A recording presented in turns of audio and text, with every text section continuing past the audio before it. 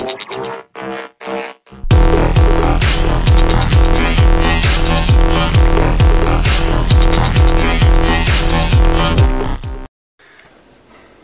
guys, today I'm going to do a little video here on uh, Moto X versus Moto G.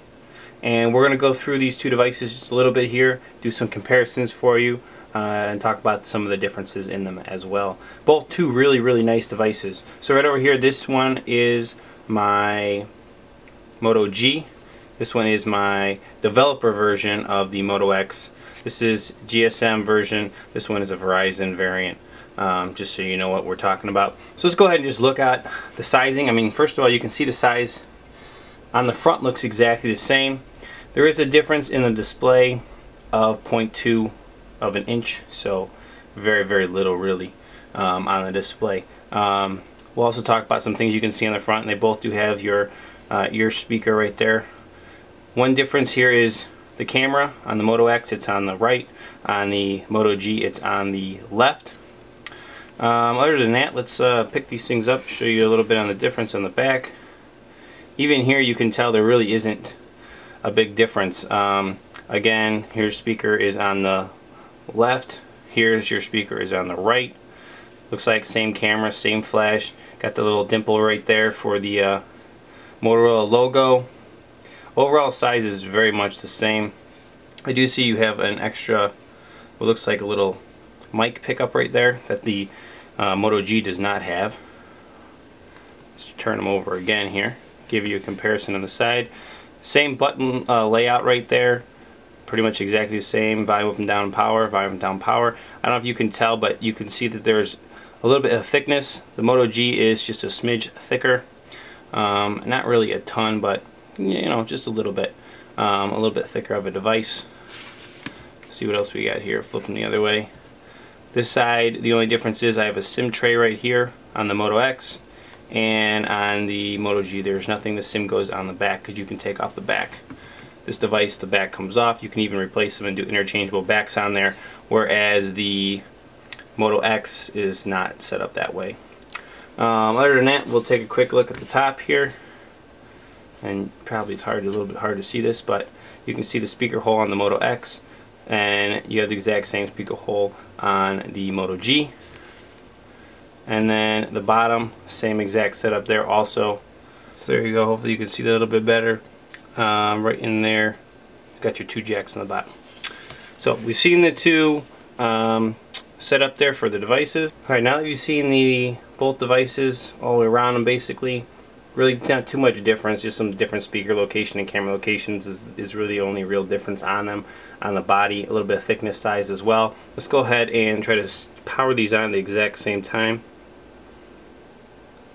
And there you go. You can see I've gone ahead and unlocked both of these you can also tell there's a screen difference here um, because there is basically and you're gonna see how they boot is gonna boot a little differently um, so your Moto G you can see actually boot a little bit faster and has a different tint to its screen. I think you can see that in the video.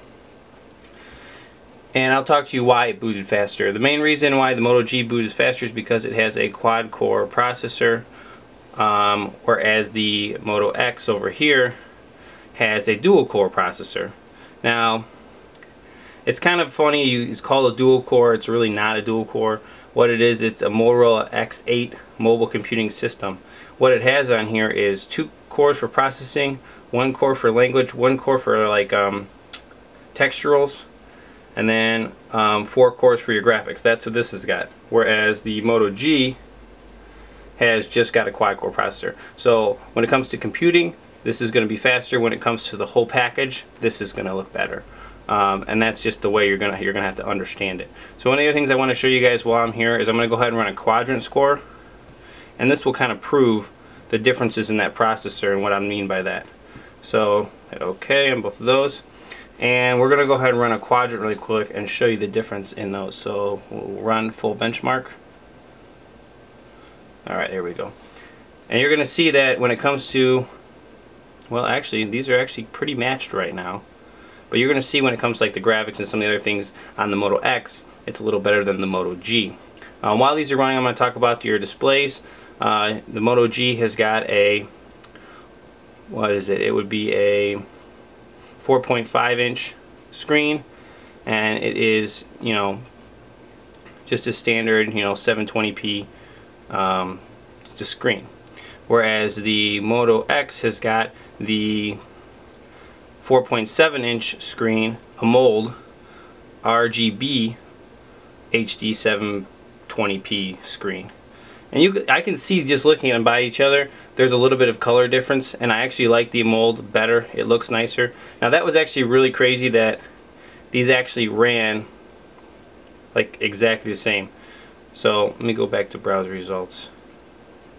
Okay so we're just gonna go ahead and hit yes on both of these and see our results and it's actually interesting uh, how this actually came out. Um, even though this has got that mobile X computing in it um, but this has got the quad core your your quadrant scores are almost the same. Actually the Moto G is um, better but it's mainly because of the processor. So you can see the blue here. The blue is your processor and then over here you can see the blue is a lot lower but your um, your memory is way better over here so that's a big boost. Your um, what is that number? Your on off IO stuff is much better and your graphics are better. So when it comes to the total score of the device they're pretty much equal but when it comes to the individual spots this is more well rounded over here on the Moto X versus the Moto G but still very equivalent scores of uh, basically 8,000 just just around there 8,300 something like that on both devices. So that's really cool. I didn't actually know I've not compared them like this before. So very interesting on on the processing there. That really kind of shows me though that this uh, Moto G is actually pretty good pretty pretty good device really. I mean like I say this thing comes out contract for $200 so amazing really. 180 if you want the 8 gig model. I got the 16 here um, so we can show you that information on there. Obviously you can get root access. You can do all the custom stuff unlike the bootloaders like you saw when I turned these things on. I've got videos on that too if you want to check it out. Um, other than that one of the things I guess you can compare we'll, we'll look through here. And you can see I mean these these do run quite nicely quite smoothly. You know everything kind of pops in and out. Uh, no big no big deal. Let's go ahead and see what's on them they do basically look like they're running pretty much the same software yeah all the all the files or programs are are pretty much exactly the same um, this this Moto X obviously is going to have the new features with shaking the camera and or shaking the phone and it launches the camera with the um, active uh, notification display with the microphone integration and all that.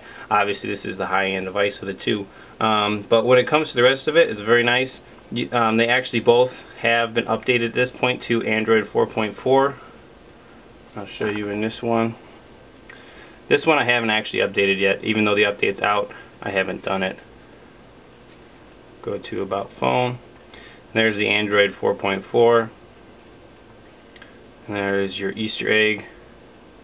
This is 4.3, so it's still technically on Jelly Bean. Even though it, it, it is already updated, I just haven't done it yet. But there you can see the Easter eggs on both of these devices, which is pretty cool. Um, there you go. That's pretty much my comparison of them. I mean, the only the other difference is obviously this thing's got I think two gigs of RAM. This one has uh, Moto G has one gig. Um, some of the other things I could mention to you would be the battery, 2200 milliamps over here. This is like 2100 milliamps, but really very, very close when it comes down to that kind of stuff. Size we've already talked about. Obviously your cell signal and all that is pretty much the exact same signals. Um, I think this one has a 1.2 gigahertz processor. So 1.2. This is a 1.7 gigahertz processor. So little little variations there as well, but nothing too too different. They're both Snapdragon processors. So there you go guys, that's going to be my review of uh, these two de devices, kind of comparing them a little bit and talking about their functionality. Otherwise, pretty much the same. These things do get great updates from Motorola. Big props to them on doing that. So I hope you guys like this little uh, comparison review of the Moto G and the Moto X. And we'll catch you guys next time. RootJunky out.